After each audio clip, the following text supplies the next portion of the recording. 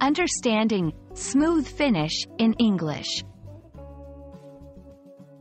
Hello, everyone. Today, we're going to dive into a fascinating English phrase, smooth finish.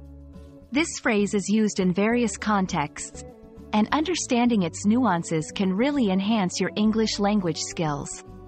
Let's explore what it means and how you can use it in your daily conversations. The phrase, smooth finish, primarily refers to a surface or result that is free from bumps, ridges, or imperfections. It's often used in contexts like woodworking, painting, or even in the beauty industry. For example, when a carpenter sands a table until it's perfectly even, they've achieved a smooth finish. Interestingly, smooth finish isn't just for physical surfaces. It's also used metaphorically. For example, if you complete a project at work with no issues, you might say you've achieved a smooth finish. This metaphorical use is widespread and can apply to many areas, from sports to business.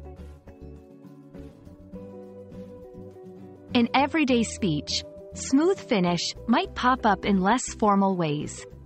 For instance, if someone handles a difficult situation with ease, you might compliment them by saying they managed a smooth finish. It's a versatile phrase that adds a touch of sophistication to your language. And there you have it. Smooth finish is a phrase that's both literal and metaphorical, applicable in various scenarios. It's a great example of English's rich and nuanced vocabulary, I hope this video helps you understand and use this phrase more confidently in your English conversations. Happy learning, and see you in the next video.